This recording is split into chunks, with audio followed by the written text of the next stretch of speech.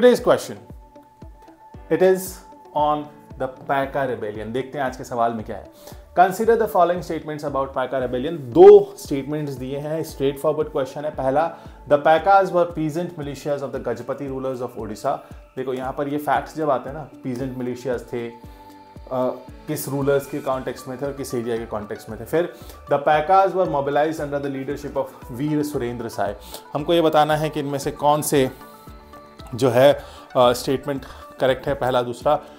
वही जो टेक्निक मैं आपको बताते आया हूँ ट्रू एंड फॉल्स उसी को हम फॉलो करेंगे। uh, अगर इसकी बात करें तो this statement is absolutely true कि ये जो पैका रेबेलियन था uh, 1817 का 1817 का ये Paika rebellion it was about the Gajapati rulers उनके नो उसमें था they were the peasant militias but इनका जो मोबलाइजेशन था, वो वीर सुरेंद्र साय ने नहीं किया था।